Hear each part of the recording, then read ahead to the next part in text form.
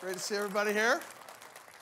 Well, uh, I just want to welcome all the media that's here and all of our team owners and our partners from NASCAR. Thanks for joining us at Chevrolet's World Headquarters and our company, General Motors World Headquarters. It's great to have you here.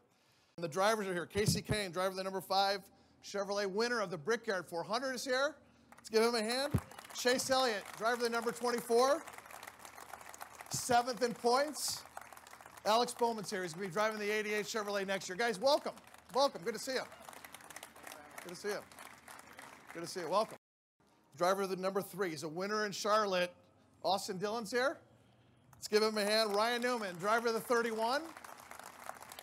He's a winner from Phoenix. And Paul Menard's here, the driver of the number 27 Chevrolet. And I stood with this guy in Winner's Circle when he won the Brickyard 400 in 2011. It's great to have you guys here. Welcome. Thanks, guys. Driver of the number 42 Chevrolet, Kyle Larson, two wins, one at Fontana, one at Michigan, and also Jamie McMurray's here, number on the number one Chevrolet. He's running eighth in the Cup Series points, looking to put it in the uh, put it in the playoffs as well. Thanks, guys. And we got AJ Allmendinger, driver of the number 47, and Chris Buescher, driver of the 37. Guys, thank you for coming. And Ty Dillon, driver of the number 13, is here as well. Welcome, Dale Earnhardt Jr., driver of the 88. Wow. And also, Executive Vice President for Global Product Development, Mark Reuss, is here. Guys, welcome. Awesome. What do you got here? Thanks, man.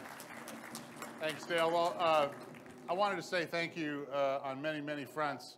First of all, it's a beautiful car, and thanks for driving me out here. It was a, I've never driven with uh, Dale Earnhardt Jr., so that's a personal bucket list thing, so thank you very much. But I wanted to say uh, thank you from all of us at General Motors and Chevrolet for um, the role that you've played representing Chevrolet your entire career, the role that your father played, and the role, frankly, that your grandfather played. Yeah, it's been a it's been a great ride, and and uh, being in a Chevrolet all these years uh, has sure been a pleasure. I appreciate you guys having me here today, allowing me to drive this car out here for this unveil. I'm excited about the new Camaro for next year. Let's take a look at the future, everybody.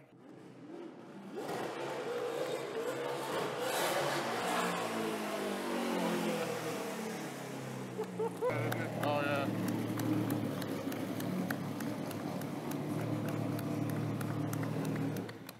Woo! Oh yeah. Wow. Man, oh man.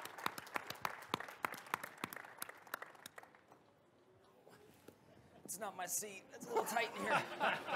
this is Larson's seat, I'm sure. Oh my gosh. Oh, I made it. Ladies and gentlemen, seven-time champion, Mr. Jimmie Johnson. Thank you, Mike. Thank you so much. Thank Thank you. you. Thanks for driving that out, man. Oh man. It's a monster. I, I love it. I've so enjoyed driving the car. Um, the, uh, the torque, the power, the handling. Um, it, it is uh, very fun to drive on the street. I know, that, I know the consumers are going to love and enjoy that. And then I've never raced a, a Camaro, so I'm excited to get on the racetrack and, and be in a Camaro next year. A first time in a long, long time for a Camaro to be on the racetrack. And uh, looks amazing. I know it's going to perform very well.